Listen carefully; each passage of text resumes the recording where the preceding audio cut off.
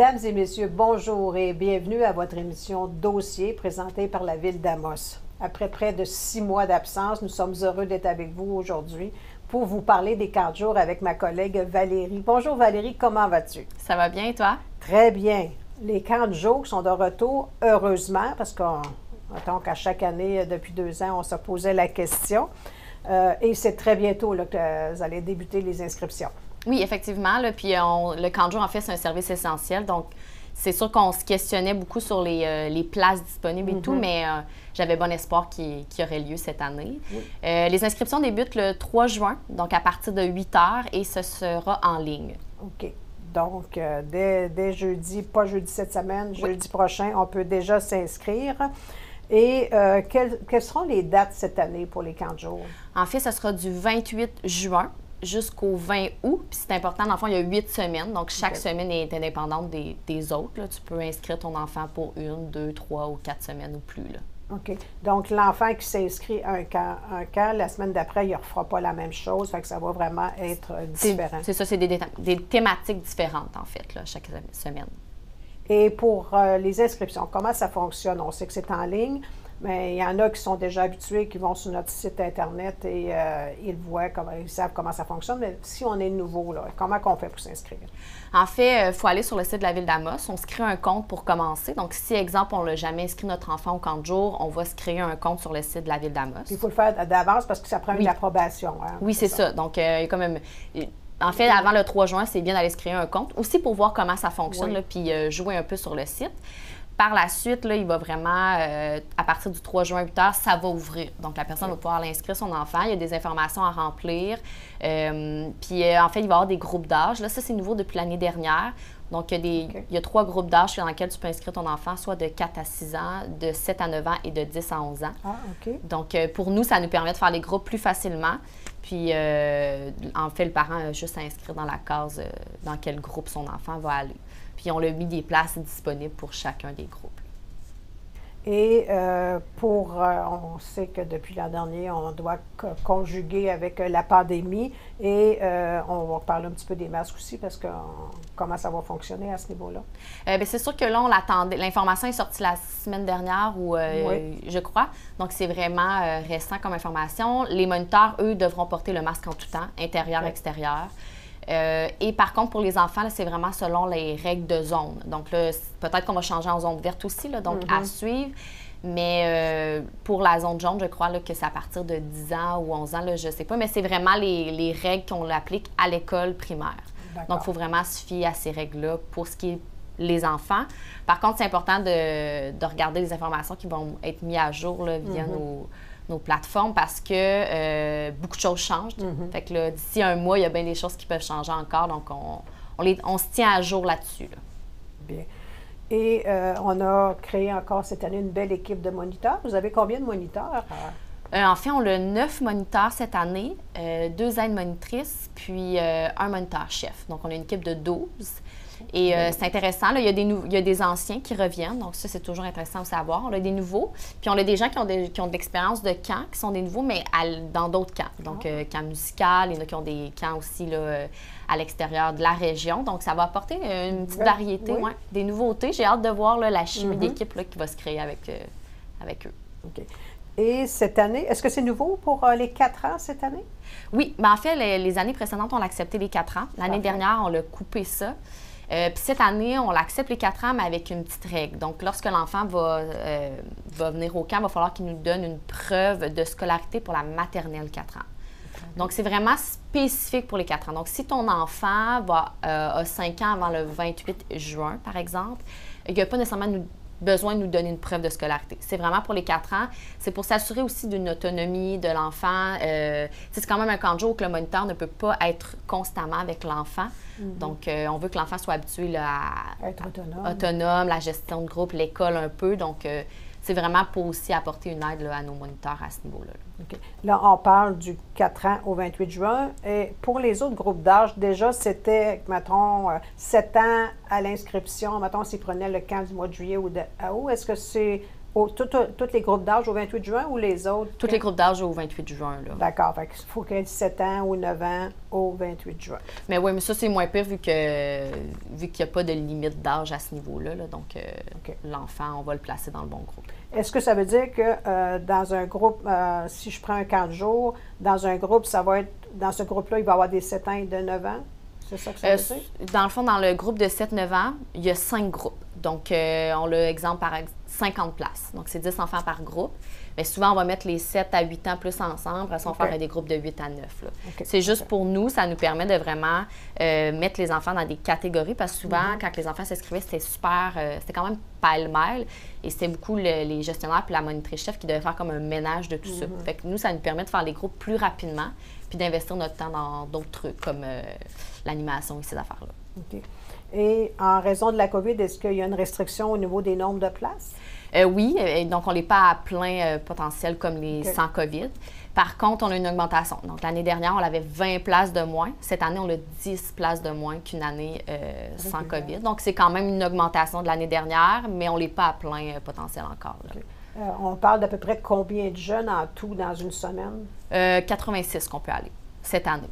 Donc, ah, ça, c'est notre, c'est notre maximum en raison du COVID, mais l'année dernière, on était à 76. Est-ce qu'on sait à quel endroit se vont se tenir les camps cette année?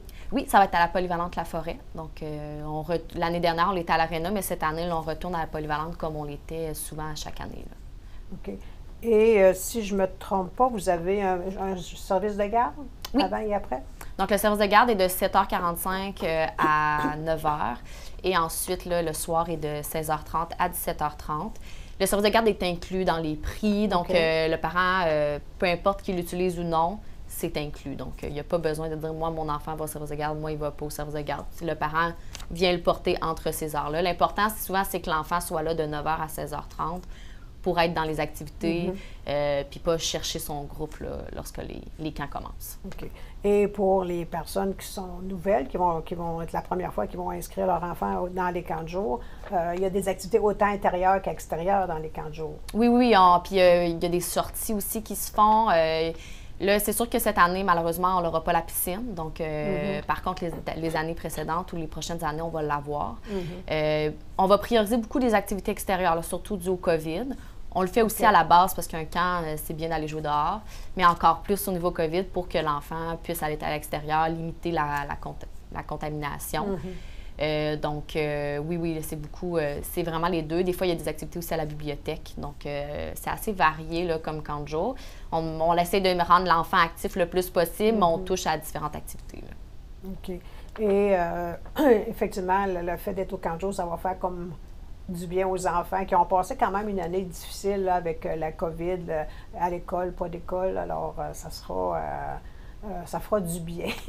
oui, oui. Pour, pour eux autres, de, changer de façon de faire, même s'ils sont en, on retourne quand même en groupe, là, mais ça va être très différent. Euh, on parlait euh, un petit mot sur euh, les camps gym qu'on avait l'habitude d'offrir parce qu'habituellement, durant la saison, c'est la, commission scolaire, le club de gym qui s'occupe des inscriptions, mais durant la période d'été, ça a toujours été la ville qui s'occupait des camps mhm. gym. Et cette année, on n'en aura pas. non, c'est ça. En fait, c'est Ghislain Doyon qui s'occupe de, les camps gym. Puis il m'a informé qu'il n'y aura pas de, de camp gym cette année. Donc, moi aussi, ça vient jouer dans les camps de jour, dans un sens que moi, mes, il y avait des activités aussi de gymnastique là, ah, impliquées. Donc, c'est sûr que cette année, on n'en aura pas dû à l'absence de camp de gym. Très bien. Et au niveau des camps ados, on n'avait pas non plus l'année dernière. Cette année non plus. Non. Euh, c'était plus difficile à, organiser au niveau, au niveau des camps. Donc, euh, on va passer au camp part. Oui. Je crois qu'année passée, on avait fait relâche aussi en raison de la COVID. Euh, je pense qu'il y en avait. Euh, je sais pas. parce que, ça, c'est une information qui peut me manquer, vu que c'est pas moi qui s'en occupe. c'est ça. Ben là, effectivement, on a. Vous, c'est toute la catégorie des. On appelle ça des camps réguliers. Oui. Le camp part s'adresse surtout à rapport avec le centre d'exposition. Oui. Donc, euh, c'est un peu, ben, pas mal différent parce que c'est seulement une semaine, je crois. Oui, c'est ça. C'est du 5 euh, au 9 juillet. Donc, c'est vraiment cinq jours dans l'été. Donc, c'est pas euh, un camp qui revient chaque semaine. OK. Puis euh, c'est un camp vraiment spécifique aux arts plastiques. Donc, tu sais, l'enfant, il va faire ça toute sa journée. Fait que c'est important que l'enfant aime faire des Mhm. arts parce que c'est pas mal ça qu'il va faire dans sa journée. là. OK. C'est quoi le groupe d'âge pour. euh, c'est- OK. Dans le fond, le groupe d'âge, c'est 8 à 12 ans. OK. Donc, euh, c'est un peu plus vieux. Puis, euh, c'est euh, de 9h à 16h les camps. Donc, y a pas, pour eux, il n'y a pas de service de garde. Donc, c'est vraiment important que le parent Ah, vienne porter son enfant à 9h et qu'il vienne le rechercher à 16h parce qu'il n'y a pas de, de service de garde relié à ce camp-là. là. Et lui se déroule complètement au centre d'exposition. Oui. là. Ça se fait à l'intérieur tout le temps. C'est ça. OK. Et euh, qu'est-ce qu'ils vont vraiment faire au cours du camp? Est-ce que vous avez une idée? euh? Euh, ben, c'est sûr qu'ils vont s'initier à, différentes techniques en art plastique. Euh, ils vont développer aussi, aussi leur imagination, puis ils vont être en présence d'artistes professionnels. Donc, c'est intéressant pour l'enfant Ah, de, toucher à ce niveau-là. Je pense que dans le fond, cette année, c'est ça, ça s'inspire de l'exposition Ciel d'Abitibi et Pattes de mouche. de mouche. Oui, c'est ça. Qui va prendre l'affiche au centre d'exposition d'Amos et de Val d'Or à partir du 23 juin. Donc, euh, si, exemple, le parent a envie d'aller voir l'exposition aussi avec son enfant avant le camp, euh, ça peut être intéressant aussi. Puis c'est de, ce, c'est de cette, cette exposition-là que les, les artistes puis euh, la personne qui s'occupe du camp va s'inspirer pour faire euh, pour initier l'enfant à l'art. Donc, c'est intéressant parce que c'est basé sur une exposition en cours. Donc, euh, c'est facilement reliable. OK. Et les points frais d'inscription. Euh, pour les frais d'inscription, dans le fond, c'est 192 par enfant. Puis ça, c'est différent des camps de jour. Donc, c'est soit qu'on on le paye sur place ou euh, on peut appeler aussi. Là. Donc, euh, c'est vraiment relié au centre d'exposition. Donc, pour faire l'inscription, c'est important de, de faire ça, avec eux. ça se fait pas en ligne, là, cette Non, c'est ça. inscription-là. OK, donc on ne faut pas se fier aux inscriptions en ligne. C'est très différent. Il faut communiquer directement avec le centre d'exposition. Et pour ce qui est la, dame, la, la- la- la- la gamme de prix pour nos camps de jour, euh, il y a seulement un prix pour euh, les, les camps de jour, mais si vous avez deux enfants, c'est, C'est ça. les prix varient, c'est ça? Ben, en fait, ça varie aussi selon si on prend une semaine ou deux. En fait, on- pour les, les camps de jour, là, il y a un bloc de une semaine ou un bloc de deux semaines. OK. Donc, l'enfant, s'il prend quatre semaines, il va avoir le tarif de bloc de deux semaines deux fois. Puis, euh, il y a un bloc de. Il y a aussi un tarif au niveau s'il y a un enfant ou deux enfants. OK. Et il n'y a pas de maximum, hein, je veux dire, dans les camps Pas- de jour pas euh, année. réguliers, si on veut faire les huit camps, on les fait. L'année passée, il y avait une, une restriction due au nombre de places, là, moins, euh, ou qu'il y avait moins de places disponibles. Fait qu'on avait fait ça pour permettre à tout le monde. Par contre, cette année, là, vu qu'on l'a augmenté un peu, on ne l'a pas fait de restriction au niveau du nombre de semaines. OK. Donc, en résumé, on a nos camps réguliers qui vont euh, débuter l'inscription à compter du 3 juin, qui vont se dérouler sur huit semaines à compter du 28 juin. Et les campeurs, il faut s'adresser directement au centre d'exposition. C'est un camp seulement d'une semaine pour, euh, qui va se dérouler du 5 au 9 juillet pour les 8 à 12 ans. C'est important de. Il y a seulement 12 places aussi là, pour le campeur. Donc, euh, quand même réserver rapidement là, si euh, vous êtes intéressé. Euh, avant de terminer, une question au niveau des dîners, collations, comment ça fonctionne? C'est dîner collation froid. On, on limite, là, on prend pas de lunch qui se font au micro-ondes. Donc, ça a toujours été la même consigne, autant pour les camps de jour que pour, je pense, le campeur, ça doit être les mêmes oui, consignes. même chose. OK. Donc, dîner froid pour. Oui, ça faisait le tour de nos informations. Merci Valérie. Merci On à vous toi. souhaite un bel été rempli de petits mousses avec vous. Euh, on vous souhaite bonne chance et on invite les, les parents à aller tout de suite euh, visiter notre site web dans la section inscription en ligne pour pouvoir euh, se familiariser et ceux qui sont déjà inscrits, ben, c'est plus facile. Sinon, vous inscrivez au préalable. Parfait. Merci, Merci beaucoup. Valérie. Bonne saison. Au revoir.